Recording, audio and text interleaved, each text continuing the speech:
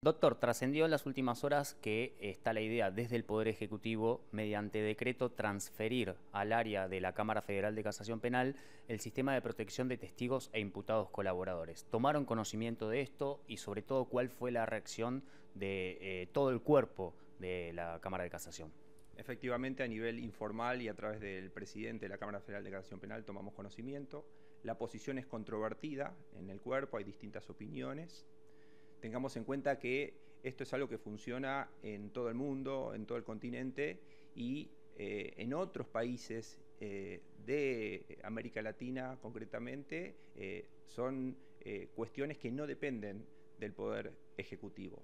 Es un tema trascendente porque tiene que ver con la seguridad de aquellas personas que declaran en forma incriminante hacia otras personas y que como consecuencia se exige que debe ser protegida su identidad y la de su familia.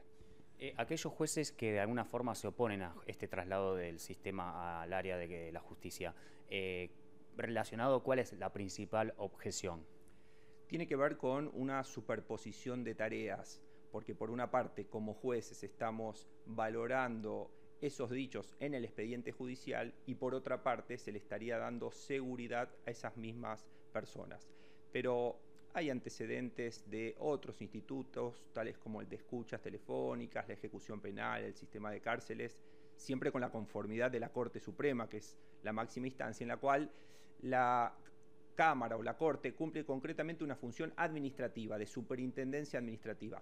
Tengamos en cuenta que es el juez federal quien solicita al director ejecutivo, quien aprueba el ingreso o en su caso da de baja y que el funcionario, juez que eventualmente intervenga, es a los fines administrativos institucionales.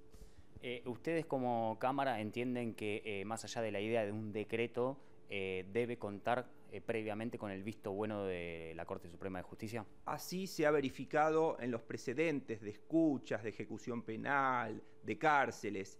La Corte Suprema es el máxima, la máxima autoridad del poder del Estado, del Poder Judicial de la Nación, y quien tiene superintendencia sobre los tribunales inferiores, incluida la Cámara Federal de Casación Penal. Esa conformidad es importante porque es la cabeza poder del Estado.